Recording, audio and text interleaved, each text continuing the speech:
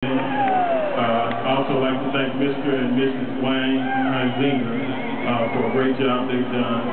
Uh, Coach Shula for drafting me. Uh, Dan for saying all the nice things about me and teaching me how to be a professional and conduct myself. Uh, definitely got to mention Keith Sims. Uh, had my, my side for eight years, and uh, hopefully it won't be long before you get up there. And all other teammates. Also want to thank my family that's here with me. And I can't forget the fans because without you, you're a big part of my success.